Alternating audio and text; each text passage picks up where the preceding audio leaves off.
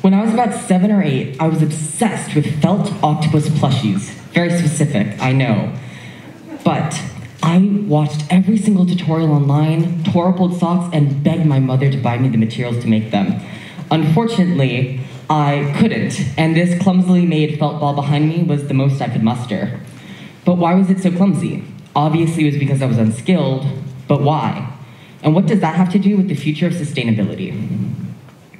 Before we look to the future, we must first look to the past, the Victorian era specifically. To the untrained eye, the Victorian era seems like a backwards time, for anyone that wasn't a baron or viscount, with plague and improperly plumbed toilets running rampant. Yes, exploding toilets were a real Victorian issue.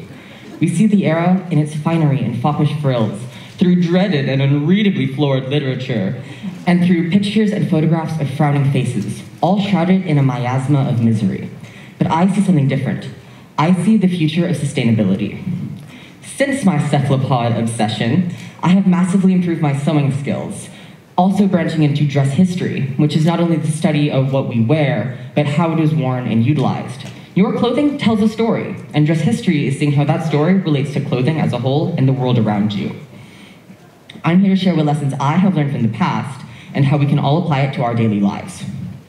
In the Victorian era, there were two reasons why many grand gowns were lost. The first reason is the passage of time, as natural fibers degrade and rot, as well as many gowns simply being lost. But the second reason is the historical practice around fabric. In the past, fabric was very expensive. It was hand woven, difficult to find, and clothing itself was much more laborious to make. And so clothing was made to last and worn until it could no longer be worn. And when it couldn't be worn, whether because it no longer fit, had fallen out of style, or any other reason that you can no longer wear something, it was either given to the secondhand clothing market, which it were, in which it was passed down from the original owner to their servants or siblings and would make its way down the rungs of the social ladder to the rag pickers who would collect what was left of the garment and take linen products to paper mills in order to be made into paper and would use other materials in order to make usable cloth, um, similar to diaper cloth.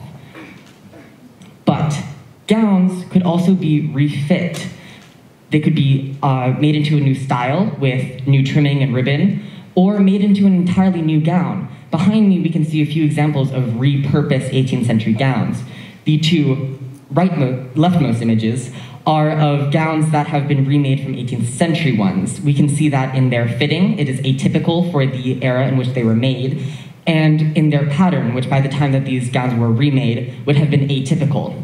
But the most interesting example is the rightmost image, which is actually a gentleman's waistcoat of the late 18th century, which has been refit and reshapen into a woman's bodice almost 100 years later in the late 19th century. This is all a very long-winded way to say that there was a sustainable system of clothing in place from the medieval era until the early 20th century. What happened? Well, fast fashion.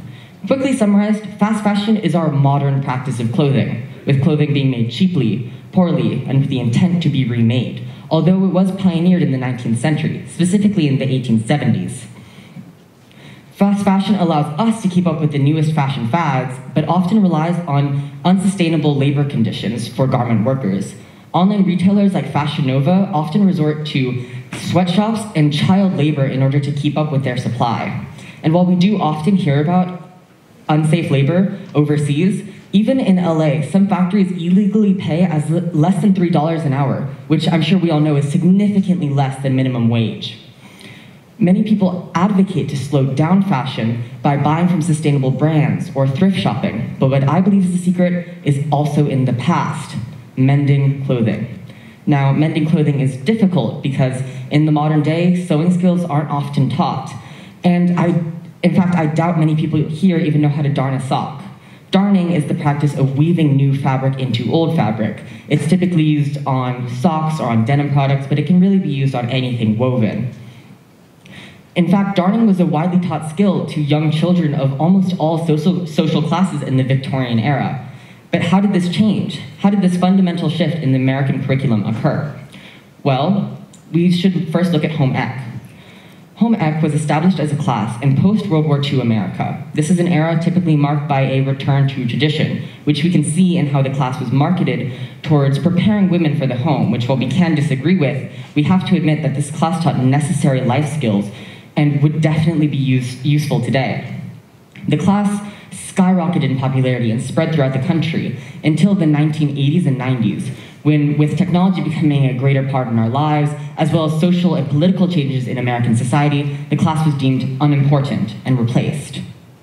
It's such a shame that such important skills haven't been maintained, and such important skills aren't being taught today, with the responsibility of learning falling more onto the individual rather than on the school system as a whole. I showed you my clumsy attempt at a felt octopus earlier, and while it definitely isn't the best, I'm still so proud of it. It was the first thing I made, and I've improved so much since then, and you can too. Learning sewing is such a simple skill. You can do it through online tutorials, YouTube videos, and obscure blogs. And it's such an easy skill to practice. It's so useful. You can find anything around the house to mend with your skills. Here are a few images behind me of altered clothing. In fact, the image on the right is of an alteration made, which is something a little more advanced, but can definitely be learned very simply with modern technology. Ultimately, we need to change our perspective on clothing. We need to change how we perceive clothing. Clothing shouldn't be something cheap and disposable and thrown away. It should be something that is cherished and cared for and lasting as long as we can make it last. The theme this year for TEDx was planting seeds. And while we can literally plant seeds and clean up beaches to help our dying world, we need to become more sustainable and eco-friendly in our own lives. And the very basis of that is in our clothing. We can sow the seeds of sustainability today for a brighter and greener future for many generations to come.